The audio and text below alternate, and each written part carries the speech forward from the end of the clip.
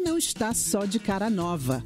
Além do lançamento da identidade visual que lembra o mapa do país, a nova programação da TV Brasil acaba de entrar no ar. A missão?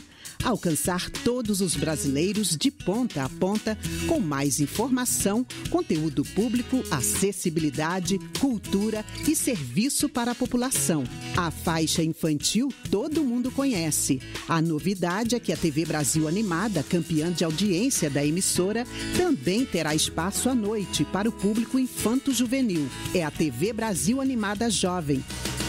E para garantir ainda mais diversidade, a programação infantil terá recursos de acessibilidade, como audiodescrição, interpretação em libras, legenda oculta e dublagem.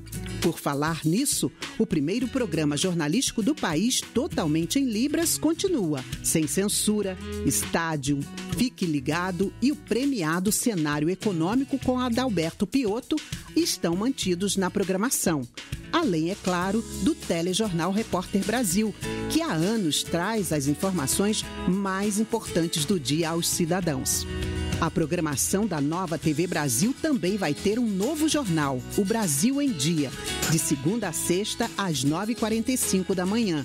Você vai acompanhar ainda flashes durante a programação, além de informações com todas as ações e serviços do governo federal.